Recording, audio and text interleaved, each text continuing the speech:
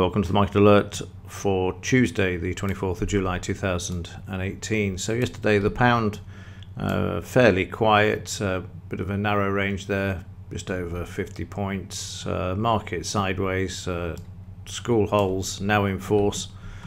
So, we're seeing uh, the market being fairly quiet as uh, I mentioned last week. You can see the market trading up there to the 131.50 before coming back and eventually moving lower, just over 50 pips there. So quite uh, a quiet market there at the moment. And then just overnight, you see the markets broke the 200 average and it's just sitting quietly at the moment, waiting for news.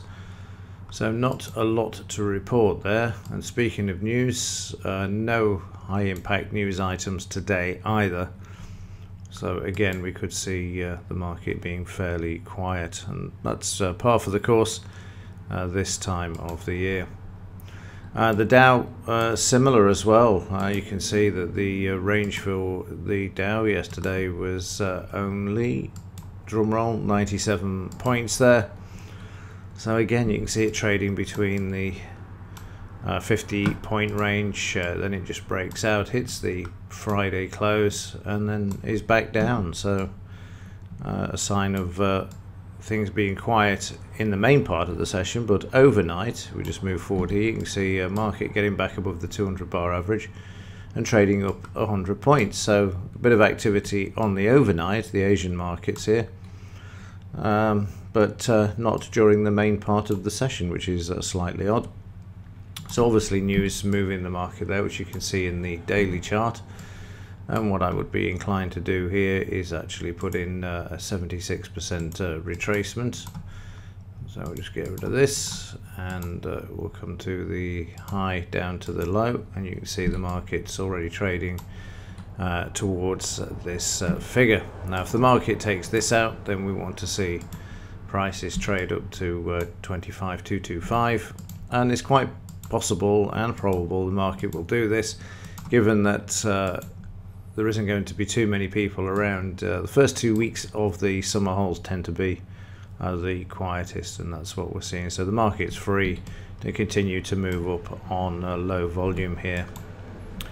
And then finally in uh, Bitcoin, this uh, also uh, moving up in the uh, the night session uh, taking out the 7798 at the moment. Next target is 8610 but first it's got to breach the 8000 currently at uh, 7950 for this market. And if you have a look here you'll see the market uh, breaking out on the night there. And again uh, not unlike the Dow. Yesterday the the main part of the session uh, was just uh, sideways. You can see there, just in a very narrow range uh, for yesterday. Um, let's have a look, just get an idea. We've got uh, the high, and that's going to be the low of just $191, so very quiet.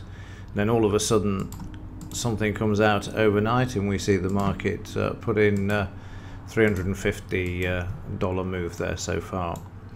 But uh, going back to the daily charts, uh, there's really nothing to drive this market back to these levels. You can't stop it from doing it, but uh, it's going to be interesting to see what happens when it gets to uh, 8,000 and then we've got, uh, say, the 8,600 level.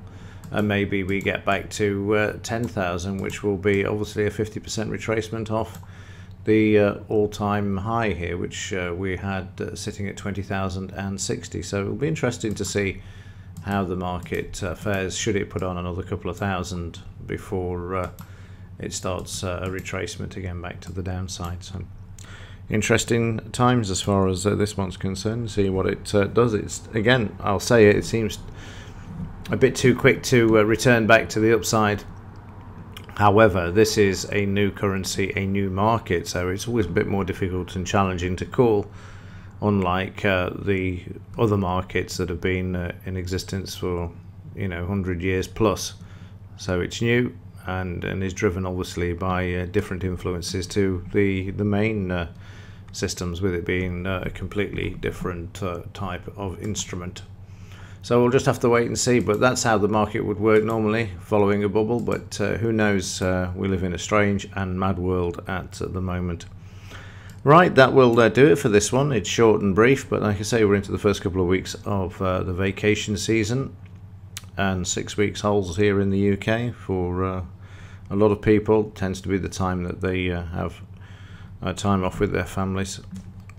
So let's see what happens. Okay, that's it uh, for this one. As ever, if there's anything to report, I will let you know. Other than that, as ever, thanks for watching. See you in the next one.